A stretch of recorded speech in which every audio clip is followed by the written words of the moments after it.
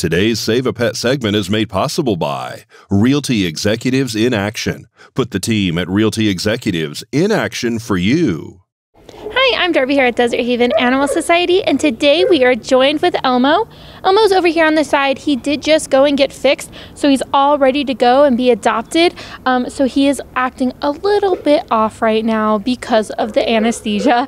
Um, he is such a cute little guy. He is what I would call a schmedium, where he's too big to be a small, too small to be a medium. But he actually is a very interesting looking dog. So he's primarily all black, um, but he has a lot of the features that Rottweilers have. So the cute little like beige eyebrows, um, the little bit of beige on his snout, cute little uh, beige paws and chest just adorable um, and also no tail. He has no tail at all just like a rottweiler but he's a miniature version. We would probably go and consider him a pocket rottweiler um, but he is full grown. He is roughly around the age of two if you want to come and see Elmo or his sister, who he came in with, Jasmine, you can always give them a call at 775 751 7020, or you can always look up Desert Haven on their Facebook page at Desert Haven Animal Society.